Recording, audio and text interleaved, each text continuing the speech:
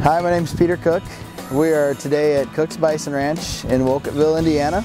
The farm was started here in 1939 by my grandfather, Everett Cook. He purchased the land for $5,000. He got a house, a barn, and 87 acres. In 1998, we decided to start raising bison. We started with 30 the first year, and currently Cook's Bison Ranch owns approximately 1,800 head.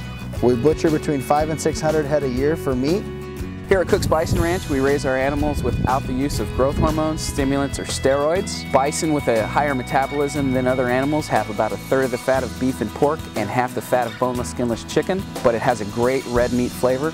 And we've recently started Cook's Bison Ranch Outfitters where you can come and hunt here at the farm.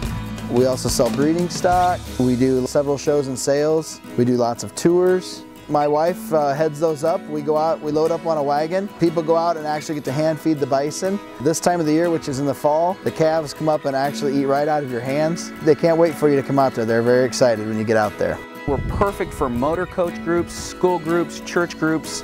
We have various activities and we have the Buffalo Treasures gift shop where you can take home your own bison meat to cook your own bison burger, as well as novelties, t-shirts, and some pretty unique Buffalo antiques.